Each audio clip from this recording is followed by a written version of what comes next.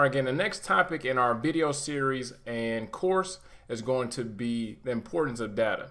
Nowadays, your data is considered an asset.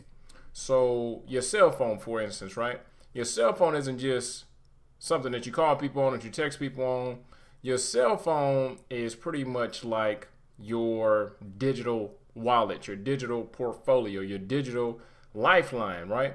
Most people can't really operate without their cell phone because they have personal information on there, they got passwords, they got GPS. That's another thing. You know, most people, if you don't have a GPS, you can't get to where you're going. So that's why data has become an asset. And data is simply defined as factual information such as measurements or statistics used as a basis for reasoning, discussion, or calculation. So, a lot of companies, right, love your data. Facebook loves your data. Google loves your data. Uh, Instagram loves your data. The FBI loves your data. All right, so if you think that um, you're surfing the web or you're doing things and nobody's watching you, eh, good luck with that. All right. Now, so a lot of people that are watching you, um, it may not be for nefarious or malicious reasons, but there is somebody watching you. And the reason that organizations want to watch you is because of advertising, right? So with your data, somebody can get your entire life, pinpoint your location, uh, where you work, your likes, and your dislikes.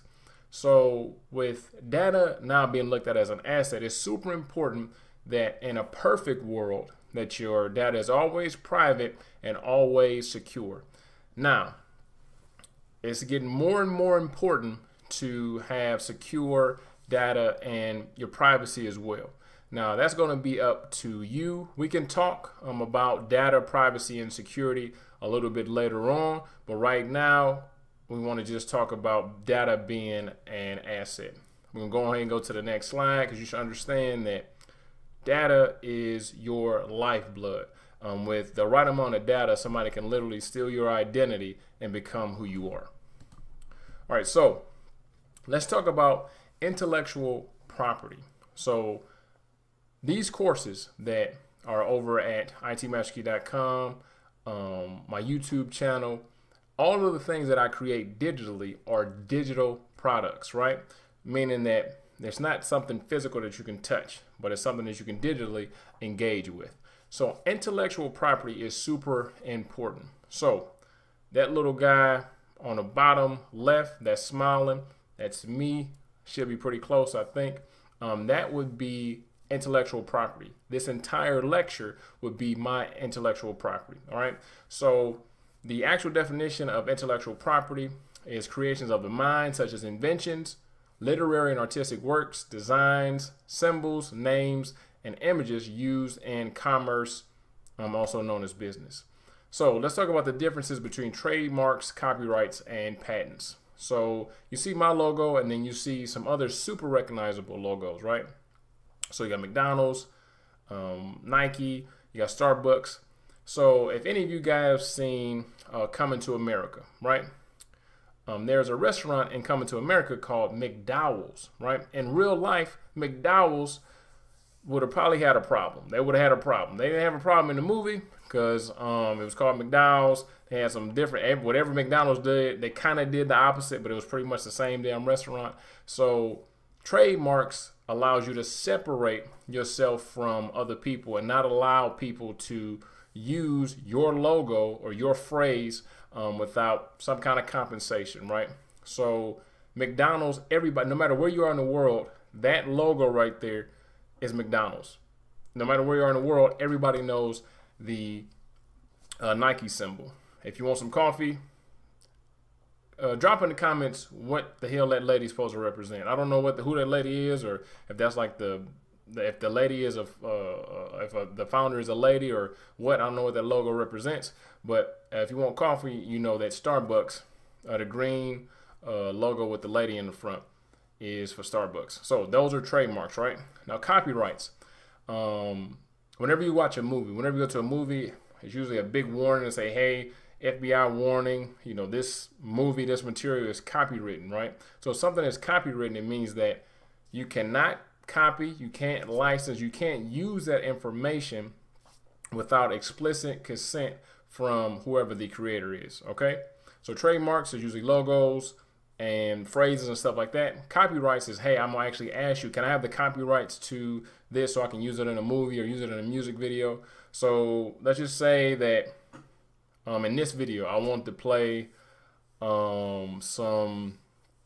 Uh, I want to play some um, baby or something in this actual lecture, right? Soon as I upload this lecture to um, the internet, I'm going to get hit with a copyright, meaning that, hey, you didn't ask this artist if you could use that music. Or if I want to use some clips from um, a, a, a movie, I'll get hit with copyright as well. Patents. So patents, um, if you watch Shark Tank, right, uh, most of the time they'll ask, hey, do you have a patent on this? And they'll say patent pending or something like that. So a patent just means that I have an idea, this is what I want to create, or I've actually created something and I want to put a patent on and pretty much lock down this design so nobody else can make and create this design. Make sense? Good. All right, so we kind of um, touched on this a little bit before when we were talking about data being an asset. So, data, um, this is kind of a big thing with Facebook because, like I said, Facebook collects a, a, bunch of your data and then sells it to advertisers. Like, hey, this guy is in um, a group about sneakers. He um, is always liking pictures about sneakers. So, let me sell this data to Face uh, to Foot Locker and to Eastbay and to um, Foot Action and to Nikes and start advertising and marketing to this guy because this is what he likes. Uh, this girl is liking pictures of Greece, and then she likes a picture of France, and then she likes a picture of Chicago, and she likes a picture of Alaska. All right, so maybe she wants to travel or likes to travel. So let's start sending her airfare and hotels.com and stuff like that, right? So it's like this says, um, if you ever feel like somebody's watching you on the internet, somebody's collecting that information.